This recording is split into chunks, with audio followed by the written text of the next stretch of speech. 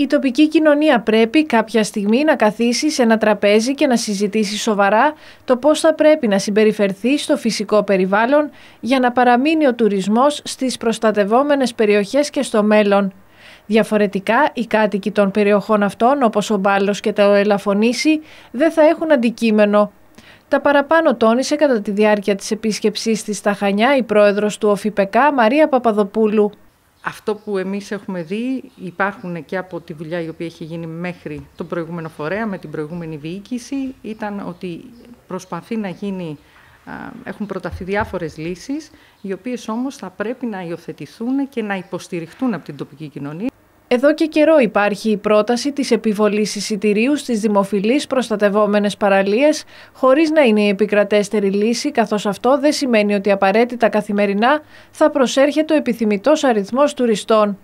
Αντίθετα, η τοποθέτηση μπάρας για τον έλεγχο του αριθμού ή η μη στάθμευση των οχημάτων και η προσέγγιση με λεωφορεία είναι κάτι που θα πρέπει να συναποφασιστεί με τους τοπικούς φορείς. Θα υπάρχει πιο ελεγχόμενος τρόπος, δεν είναι το εισιτήριο μόνο, ε, μιλάω για συγκεκριμένα μέτρα τα οποία είχε συζητήσει, ε, έχουν συζητηθεί ε, μέχρι τώρα από την... για τις μπάρες, για να υπάρχει κάποιος έλεγχος, να υπάρχουν διάφορα πράγματα τα οποία έχουν πέσει στο τραπέζι, τα οποία όμως θα πρέπει να οριμάσουν και να πρέπει να υιοθετηθούν από την τοπική κοινωνία.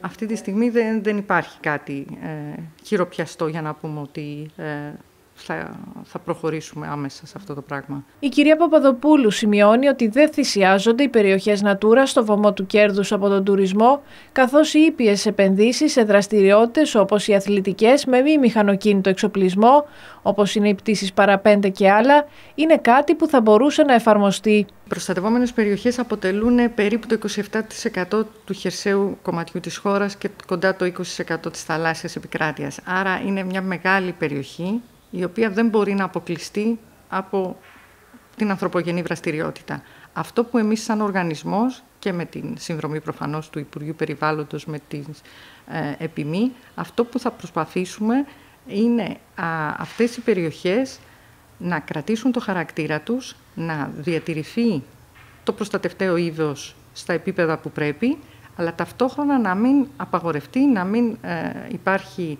απαγόρευση για ε, ήπιες παρεμβάσεις, ήπιες ανθρωπογενείς ε, ε, δραστηριότητες που συνάδουν με το προστατευταίο αντικείμενο, οι οποίες μπορούν να δώσουν οικονομικό αντικείμενο στις τοπικές περιοχές.